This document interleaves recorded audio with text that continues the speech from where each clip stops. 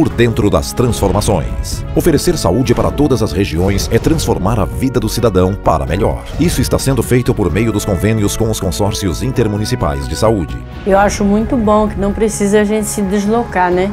Segurança é assunto sério. Somente este ano foram convocados 3.490 novos homens na segurança. 287 novas viaturas estarão nas ruas até o final do ano. Vem muita transformação por aí. Acompanhe. Governo de Mato Grosso. Estado de transformação.